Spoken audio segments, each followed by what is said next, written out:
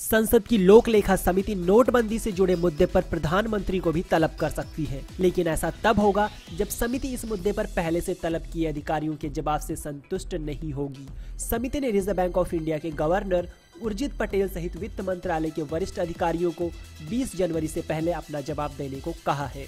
संसद की लोक लेखा समिति के चेयरमैन केवी थॉमस का कहना है कि जिस देश में कैशलेस की बात की जा रही है, वहाँ पर कॉल ड्रॉप की समस्या आज तक बरकरार है। सरकार इस पर अभी तक काबू नहीं पा सकी है। ऐसे में भला सरकार कैसे कैशलेस और ऑनलाइन ट्रांजैक्शन की बात कर सकती है? 20 जनवरी को समिति वित्त मंत्रालय और उर्जित पटेल से मिले जवाब पर विचार करेगी।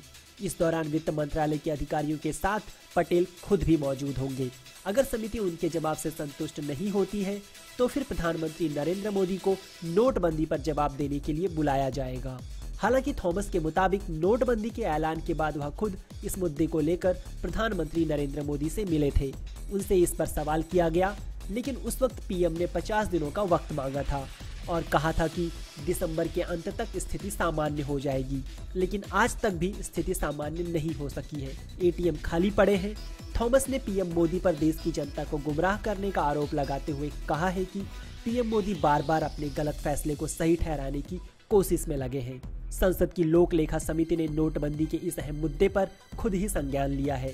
समिति कैग की रिपोर्ट की जाँच परख करती है। साथ ही लोक लेखा समिति को किसी भी मामले में शामिल किसी भी व्यक्ति को बुलाने का अधिकार है।